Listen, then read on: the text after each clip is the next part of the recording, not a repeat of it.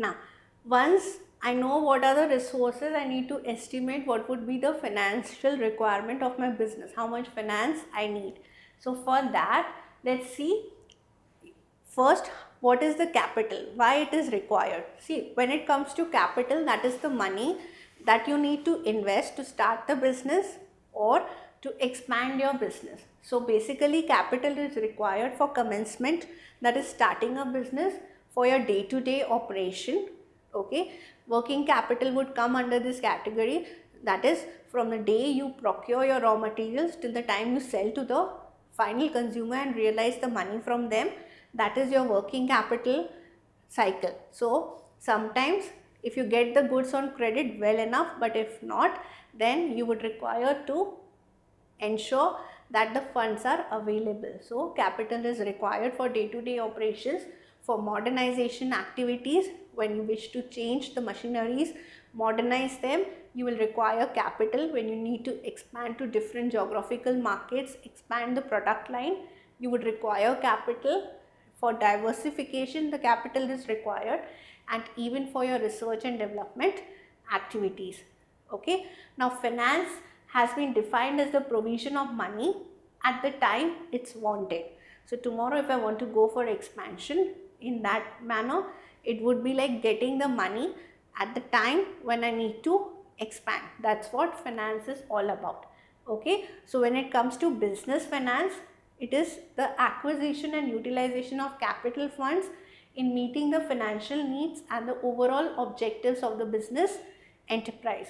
So whatever is the need out here, the finance would be like getting that kind of money so that you, you can utilize it for the purpose listed out here and you can fulfill the objectives of your business enterprise.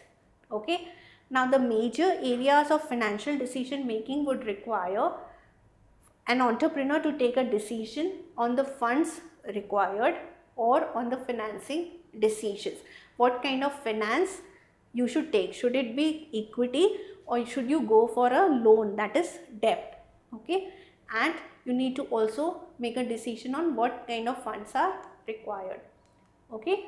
Now, why this is necessary? Because proper planning for procuring and disbursement of funds make it mandatory for the entrepreneur to explore three aspects. What are those three aspects? First, what is the total amount of money or finance that is required to implement the business plan. Let's say if I'm going for expansion. So, when I'm thinking about procuring funds and dispersing these funds, I need to know what would be the total funds I would require. Okay, the proportion and the form of various securities to be used to collect the desired amount. So, from where the money will come in? Would it be as a form of a business loan or would it be from an investor who is ready to invest his money into your business? What are the policies in terms of utilization and administration of the capital? So, how the firm is going to utilize the money so as to ensure that the objectives are attained and that is the best possible manner in which the funds can be utilized. Okay. Now, when I am talking about financial planning, what does that mean? See, Financial planning is nothing but a process of estimating how much funds you would require. Let's say for a particular accounting period, okay, specifying what would be the sources of the funds and then how they would be utilized in an optimum manner. So, all these three activities get covered in your financial planning. Okay. Why it is necessary that a sound financial plan is built?